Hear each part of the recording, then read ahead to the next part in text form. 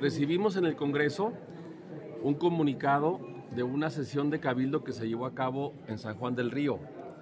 El ayuntamiento recibió la licencia definitiva de quien estaba como presidente municipal gracias a la elección del año pasado. Al haber ya una licencia definitiva, ya no podrá ejercer la presidencia municipal Hugo Gándara.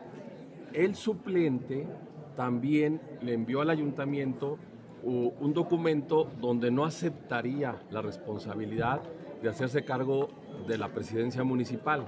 Esto abre la puerta para que sea el Congreso quien elija un presidente municipal sustituto.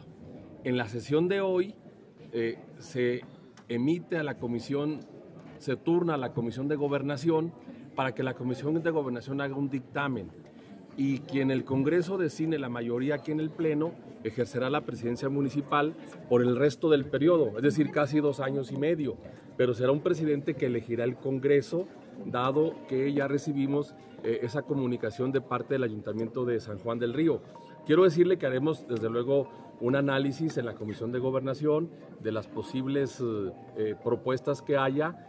Tendrá que ser un militante del PRI, así lo dice la ley que cuando un presidente municipal ya no puede ejercer el cargo y el Congreso elige, tiene que ser un ciudadano, obviamente, que cumpla con los requisitos constitucionales o ciudadana, que cumpla con los requisitos constitucionales que establece para ejercer el cargo de presidente municipal y además ser militante del partido que ganó la elección. ¿Qué proceso se sigue? ¿Se abre una convocatoria para que se inscriban algunos interesados? No, la Comisión de Gobernación lo que va a hacer es preguntar a quién están interesados y deberá de analizar quién es la mejor opción para ejercer el cargo de presidente municipal de San Juan del Río, porque son dos años y medio prácticamente, es casi todo el periodo. ¿Se votaría aquí? Se va a votar en el Pleno. El dictamen que emita la Comisión de Gobernación se somete al Pleno y seguramente la próxima semana estaremos en condiciones de estar nombrando un presidente municipal sustituto.